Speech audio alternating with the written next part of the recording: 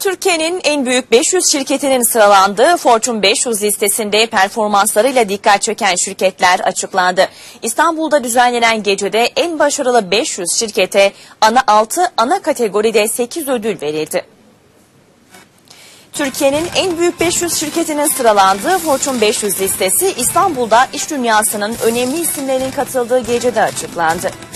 Gecede Türkiye'nin en başarılı 500 şirketine 6 ana kategoride 8 ödül verildi.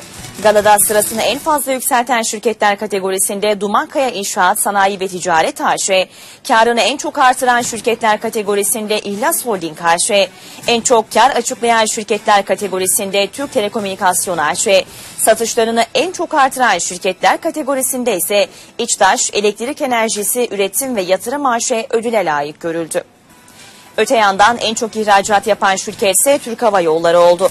Net satışı en yüksek şirketler kategorisinde ise 3'ün 3 şirkete ödül verildi.